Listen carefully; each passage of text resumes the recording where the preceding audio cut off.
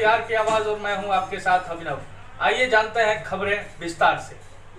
बिहार सरकार के द्वारा केंद्रीय विद्यालय के लिए ज़मीन उपलब्ध कराने हेतु एवं एनओसी नहीं देने के विरोध में समस्तीपुर जिला में आज दिनांक 28 नवंबर 2019 को रालोसपा के बैनर तले विधि महाविद्यालय से कर्पूरी स्मारक होते हुए कचहरी रोड होते कर्पूरी आश्रम तक रालोसपा जिलाध्यक्ष अनंत कुशवाहा के नेतृत्व में मसाल जुलूस निकाला गया।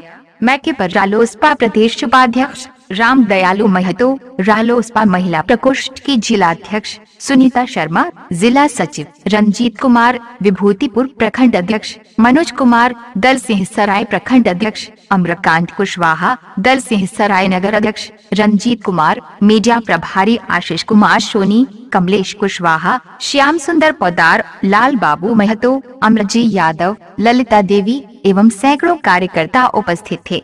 बिहार की आवाज़ संवाददाता सुधीर कुमार शर्मा की रिपोर्ट। पड़े नीतीश कुमार की साजिश है। इसलिए हम लोग नीतीश कुमार को मसाज जुलूस से के माध्यम से चेताना चाहते हैं कि आप भूपेंद्र कुशवाहा जी की मांग को मानिए नहीं तो आने वाले समय में जिला का चक्का जाम होगा और इसके सारी जिम्मेवारी बिहार सरकार नीतीश कुमार की नीतीश कुमार की होगी। बिहार में केंद्रीय विद्यालय खुलवाने के लिए अनशन पर बैठे हैं। और मैं ये कहना चाहूँगी नीतीश सरकार जी से कहना चाहूँगी कि एनओसी वो दे दे, क्योंकि अगर नहीं देते हैं तो हम लोग आज एक उपेंद्र कुशवाहा जी आमरण अनशन पर बैठे हैं। और आज के बाद अनेकों उपेंद्र कुशवाहा आएँगे और अनशन पर बैठेंगे। क्योंकि मैं और मान, और माननीय मुख्यमंत्री जी से ये भी कहना चाहूँगी कि एनओसी वो दे दे, क्योंकि वो अपने पिता के घर से नहीं दे रहे हैं ये पूरे पब्लिक का है ये पूरे बिहार का बात है क्योंकि ये यहाँ बच्चे का भविष्य का बात है। इसलिए मैं सीएम जी से कहना चाहूँगी कि वो जल्द से जल्द केंद्रीय विद्यालय के लिए ज़मीन उपलब्ध कराएँ। उपेंद्र कुशवाहा जिंदाबाद। जिंदाबाद। की सरकार है जबकि केंद्रीय विद्यालय सेंट्रल सरकार के द्वारा मंजूर होता है।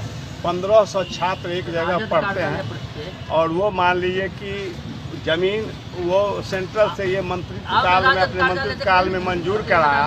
बिहार सरकार को सिर्फ़ एनओसी देना है जबकि एक महंत जी ने अपनी पैतृक संपत्ति दी है और वो मान लीजिए गरमजरुआ ज़मीन के लिए पहले डीएम भेज चुके हैं मुख्यमंत्री जी भेज चुके हैं एनओसी देना है वो कहते हैं कि नहीं देंगे ये शिक्षा विरोधी सरकार है ये डपड़ संघ की सरकार है वो बिहार के जो मैट्रिक तक के जो छात्र हैं, उनके लिए ये स्कूल खोला है। एक जगह भी शिक्षक नहीं है। सिर्फ़ वो बिल्डिंग बनाया है क्योंकि उसमें कमीशन का मामला है। ये सरकार शिक्षा के विरोध में काम कर रही है बिहार में। इसी के चलते हम लोग मसाज जुलूस जो अपनी नीति को बदलो और एनओसी दे करके केंद्रीय विद्यालय बिहार में खुलवा। इसी के चलते हम लोग